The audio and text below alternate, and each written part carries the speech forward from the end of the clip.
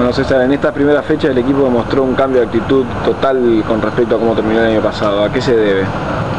No, creo que estamos, muy bien. Eh, de la cabeza, anímicamente. Eh, el partido creo que en Córdoba cuando empezamos eh, jugamos un muy buen partido y creo que eso, eso nos hizo muy bien.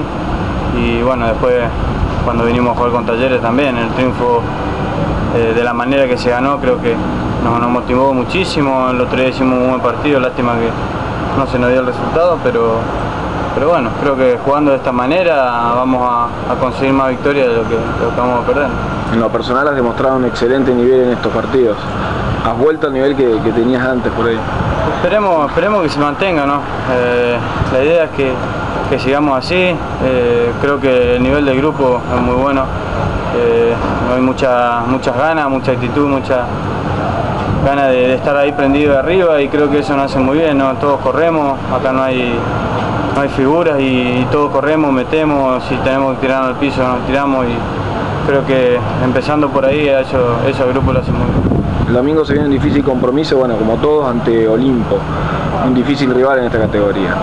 Sí, sí, además que, que venía ahí, creo que ahora, bueno, ya que el otro día ganamos de local, hay que seguir manteniendo esa, eh, hacerse fuerte acá, ¿no? Seguir, seguir ganando y, y, bueno, seguir sumando para, para bueno, sabemos que, que, estamos ahí todavía, estamos, estamos muy cerca y esperemos que, que podamos conseguir el triunfo para, para no alejarnos.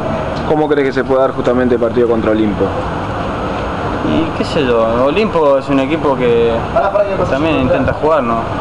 Eh, bueno, anoche con, con Taller hizo un muy buen partido y, no lo empató porque, porque bueno, no, no entraron las situaciones que tuvieron, pero, pero bueno, van a venir creo yo a jugar de la misma manera que, que jugaron con Talleres y, y, bueno, esperemos que nosotros vamos eh, a hacer algo parecido o mejor a lo que, lo que hicimos con Talleres.